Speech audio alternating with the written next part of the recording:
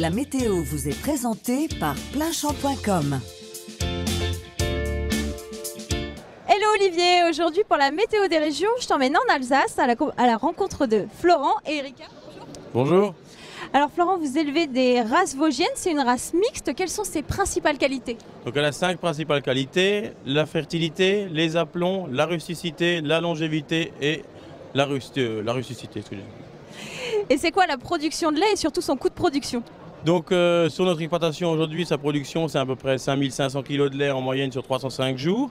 Et le coût de production pour 1000 litres de lait chez nous, ça représente 104 euros des 1000 litres. Et vous les gardez combien de temps vos animaux?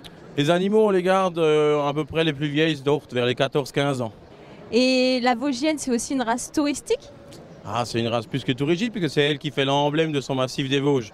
Donc automatiquement, les gens qui viennent chez nous dans le secteur, dans la vallée de Master dont on est originaire, elles viennent pour voir aussi la Vosgienne.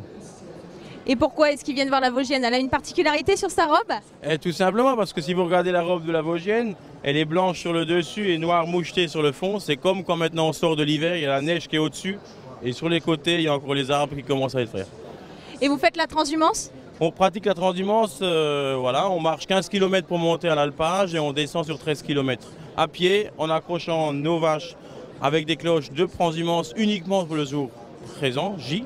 Et euh, voilà, c'est une tradition et c'est surtout euh, une habitude et c'est un moment fort entre l'élevage, les vaches et son éleveur.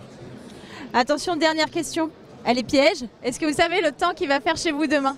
Je pense que ça va être gris et qu'il va faire mauvais. Alors demain, dans le Grand Est, le ciel sera gris le matin et se couvrira au fil de la journée. Tout le monde aura le droit à sa petite averse.